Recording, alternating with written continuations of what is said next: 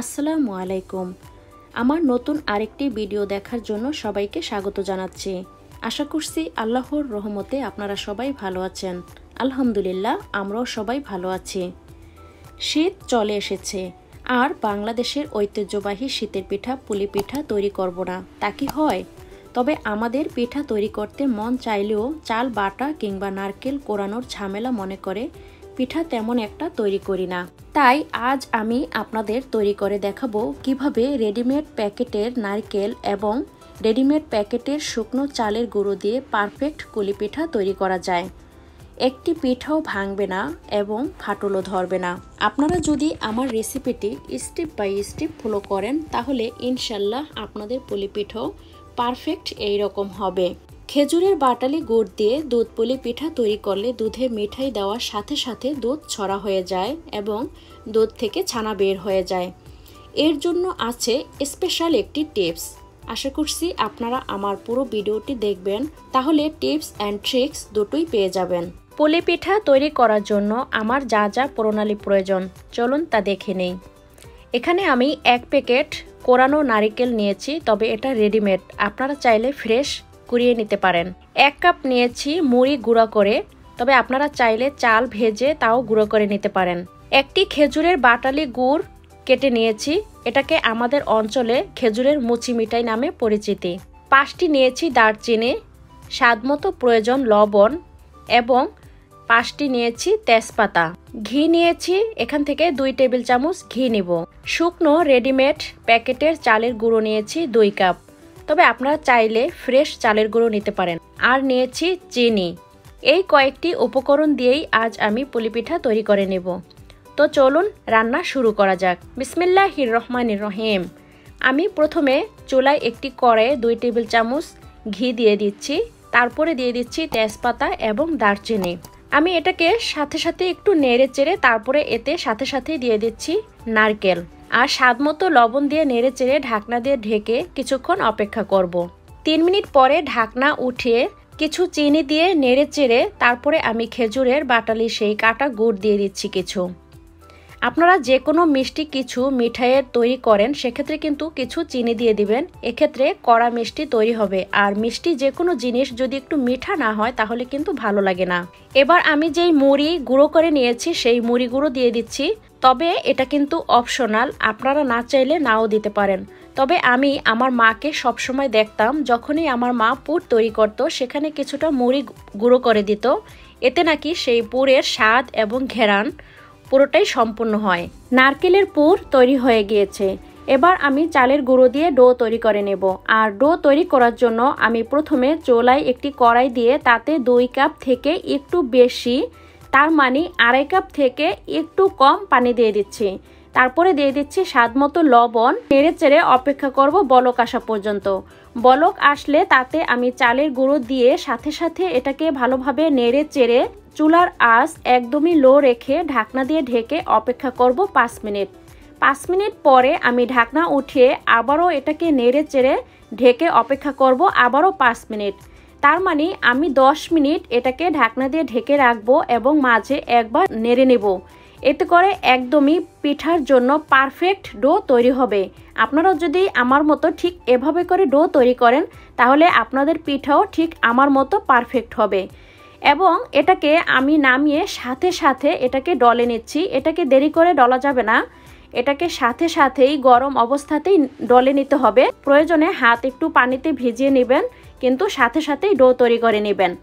দেখুন, আমি ডো তৈরি করে নিয়েছি। এবার আমি একটি কিচেন তয়েল দিয়ে এটাকে ঢেকে রেখেছি যাতে এটা শক্ত হয়ে না যায়। দুধ পুলি তৈরি করার জন্য আরেকদিকে আমি চুলায় একটি কড়াইতে দুই লিটার দুধ দিয়ে একদম লো আঁচে রেখে দেব। এটা জাল হতে থাক। অন্যদিকে আমি পিঠা তৈরি করে নিচ্ছি।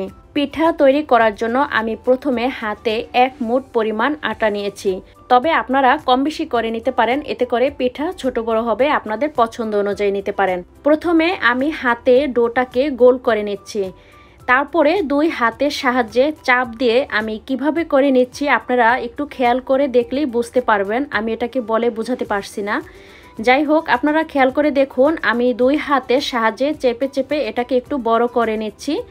এটার ভিতরে পুর দেওয়ার জন্য। দেখুন কত সুন্দরভাবে গোলাকার তৈরি হয়ে গিয়েছে। এবার আমি এখানে এক চামচ পরিমাণ পুর দিয়ে দিচ্ছি। তবে আপনারা পুর আপনাদের পছন্দ অনুযায়ী কম বেশি করে দিয়ে নেবেন। ভিতরে পুর দিয়ে দুই পাশ থেকে এনে আমি খোলা মুখটাকে বন্ধ করে দিচ্ছি। তারপরে আমি দুই আঙ্গুলের সাহায্যে চেপে চেপে পুরো সাইড বন্ধ করে দিচ্ছি। এবার আমি এখানে ডিজাইন করে নিচ্ছি। তবে আপনারা খেয়াল করে দেখুন আমি ডিজাইনটা কীভাবে করে নিচ্ছি। আমি দুই আঙ্গুলের সাহায্যে চাপ দিচ্ছি, যখন এটা একটু বড় হয়ে আসছে, তখন আমি এটাকে উল্টিয়ে দিয়ে আবারও একই জায়গায় চাপ দিচ্ছি। ঠিক এভাবে করে আমি পুরো পিঠার ফুল তৈরি করে নেব।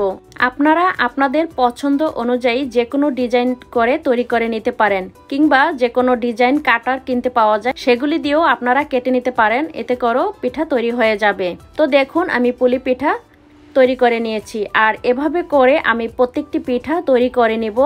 আর প্রত্যেকটি পিঠা তৈরি করে রাখার পরে আমি যে ট্রেতে রাখব, সাথে সাথে একটি কাপড় দিয়ে ঢেকে রাখব। পিঠাগুলি বানানোর সাথে সাথে প্রত্যেকটি পিঠা এই ডো যেভাবে আমি ঢেকে রেখেছি, এভাবে ঢেকে রাখতে হবে। তা না হলে পিঠা গায়ে উপরে শুকিয়ে যাবে এবং পিঠা ভেঙে যাবার কিংবা ফেটে যাবার ভয় থাকে। আমি আমার রেসিপিতে সব সময় খুব ছোট থেকেও ছোট জিনিস বলে দেবার চেষ্টা করি, এই জন্য যে যাতে করে নতুনদের বুঝতে কোনো সমস্যা না হয়। তারপরেও যদি আপনাদের কোনো প্রশ্ন থাকে, তাহলে আমাকে কমেন্ট বক্সে জানাবেন। সবগুলি পিঠা তৈরি করে নিয়েছি। আরেক দিকে চুলায় দুধ জাল পেয়েছে, এবার আমি এতে কিছু চিনি দিয়ে দিচ্ছি, তারপরে নেড়ে চেড়ে আরেকটা বলক তুলে নিচ্ছি। বলক আসার পরে এবার এতে আমি সবগুলি পিঠা একটি একটি করে দিয়ে দিচ্ছি। এই পিঠা কিন্তু একসাথে দেওয়া যাবে না, তাহলে ভেঙে যাবে। একটি একটি করে পিঠা দিতে হবে এবং এই পিঠা রান্না করার জন্য আমার মতো খোলা এবং বড় একটি পাত্র নিতে হবে। ছোট একটি পাত্রে কিন্তু এই পিঠা দেওয়া যাবে না, তাতে করে পিঠা কিন্তু ভেঙে যাবে এবং একটার সাথে একটা যখন লেগে থাকবে, তখন পিঠাগুলি কিন্তু খুলে যাবার সম্ভাবনা থাকবে। আমার মতো যদি আপনারা এরকম বড় একটি পাত্র নিয়ে এই পিঠাগুলি রান্না করেন, তাহলে ইনশাল্লাহ আপনাদের একটি পিঠাও ভাঙবে না। কিছু পিঠা ফ্রিজিং করার জন্য আমি একটি প্লাস্টিক জিপ ব্যাগে রেখে দিচ্ছি, তারপরে এটাকে আটকিয়ে আমি ডিপ ফ্রিজে রেখে দেব।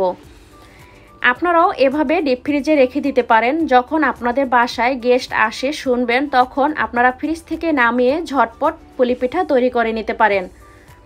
কিংবা আপনাদের যখন ইচ্ছে, তখন আপনারা ডিপ ফ্রিজ থেকে নামিয়ে ঝটপট এভাবে করে দুধে দিয়ে দুধ পুলি পিঠা তৈরি করে নিতে পারেন কিংবা ভাপে দিয়ে ভাপা পুলিও তৈরি করে নিতে পারবেন, যেভাবে আপনাদের ইচ্ছে। আরেক দিকে খেজুরের গুড় দিয়ে দুধ পুলি তৈরি করার জন্য খেজুরের বাটালি গুড় কেটে রেখেছিলাম, তা একটি পাতিলে পানি দিয়ে আমি চুলায় দিয়ে দিচ্ছি। এটাকে আমি গলিয়ে কিছুক্ষণ একটু জাল করে নেব। পিঠা রান্না হয়ে গিয়েছে। এবার আমি চুলার জাল বন্ধ করে অপেক্ষা করব দুই মিনিট। দুই মিনিট পরে খেজুরের বাটালি গুড় জাল করে যে আমি ঠান্ডা করে রেখেছি তা দিয়ে দিচ্ছি এবং দিয়ে আমি একটি স্পেচালারের সাহায্যে একটি একটি করে পিঠা ডুবিয়ে দুধের সাথে মিঠাই যেন খুব ভালোভাবে মিশে যায়। তবে আমি মিঠাই কিন্তু দুইবারে দিয়েছি এবং একইভাবে আমি স্পেচালারের সাহায্যে নেড়ে চেড়ে নিচ্ছি। তারপরে আমি কড়াইয়ের দুই হাতা ধরে ঘুরিয়ে নিচ্ছি। আপনারা খেয়াল করে দেখুন, আমি কীভাবে করে নিচ্ছি, ঠিক এভাবে করেই নিতে হবে, তা না হলে কিন্তু পিঠা ভেঙে যাবে। তো পিঠা সম্পূর্ণভাবে তৈরি হয়ে গিয়েছে, দেখুন। আমি মিঠাই দিয়েছি, তারপরও কিন্তু দুধে একটু ছড়া হয়নি এবং কোনো ছড়া কাটেনি, সম্পূর্ণভাবে পিঠা তৈরি হয়ে গিয়েছে। আপনারা যদি আমার রেসিপিটি স্টেপ বাই স্টেপ ফলো করেন, তাহলে ইনশাল্লাহ আপনাদের একটি পিঠাও ভাঙবে না এবং আপনাদের মিঠাই দেওয়ার পরেও ছড়া হবে না। ইনশাল্লাহ আমার মতো পিঠা তৈরি হবে। এবার আমি একটি সার্ভিং ডিশে পিঠা সার্ভ করে নিচ্ছি। মাশাল্লাহ, আলহামদুলিল্লাহ, বাংলাদেশের ঐতিহ্যবাহী শীতের পিঠা পুলি পিঠা। দারুণ স্বাদের এই পুলি পিঠা তৈরি হয়ে গিয়েছে। আমার রেসিপি যদি আপনাদের ভালো লাগে, তাহলে প্লিজ একটি লাইক দিবেন এবং আমার চ্যানেলটি সাবস্ক্রাইব করে পাশে থাকবেন পরবর্তী ভিডিও দেখার জন্য। এবং আপনার ফ্রেন্ডস অ্যান্ড ফ্যামিলির সাথে আমার রেসিপিটি শেয়ার করবেন। তো আজকের মতো এখানেই বিদায় নিচ্ছি। ভালো থাকবেন, সুস্থ থাকবেন। দেখা হবে পরবর্তী ভিডিওতে নতুন কিছু নিয়ে। আল্লাহ হাফেজ।